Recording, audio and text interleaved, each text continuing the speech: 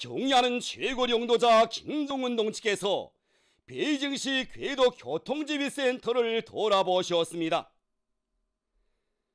조선노동당 위원장이시며 조선민주주의인민공화국 국무위원회 위원장이신 우리 당과 국가 군대의 최고 용도자 김종은 동지께서 리설준 요사와 함께 20일 오후 베이징시 궤도 교통지휘센터를 돌아보셨습니다. 최룡해 동지, 박봉주 동지, 리수영 동지, 김영철 동지, 박태성 동지, 리용호 동지, 노광철 동지를 비롯한 간부들과 실무 일꾼들이 수행했습니다. 중국 공산당 중앙위원회 정치국 상무위원회 위원이며 당중앙위원회 서기처 서기인 왕헌영 동지와 중국 공산당 중앙위원회 정치국 위원이며 베이징 시당위원회 서기인 최기 동지, 중국 공산당 중앙위원회 대외연락부장 송도 동지, 베이징시 시장 진길령 동지, 우리나라 주재 중화인민공화국 등령전권 대사 리진군 동지가 함께 참관했습니다. 경의하는 최고 용도자 동지를 베이징시 궤도 교통지휘센터 주임 전명희 동지를 비롯한 센터의 책임 일꾼들이 맞이했습니다.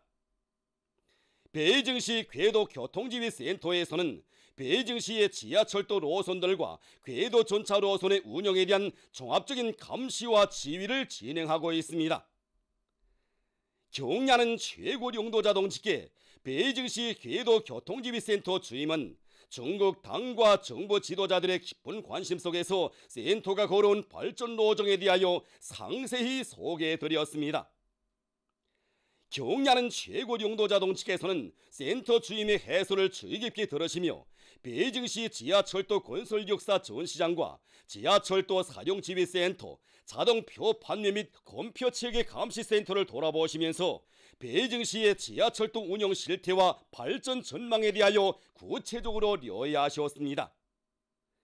경애하는 최고 령도자 동지께서는 베이징시 궤도 교통지휘센터의 자동화 수준이 높고 통합 조종 체계가 훌륭히 구축된 데 대하여 경탄하게 된다고 하시면서 센터가 앞으로 세계적인 교통지휘센터로 더욱 비약하며 더 큰 전진을 이룩하기를 축원하시었습니다.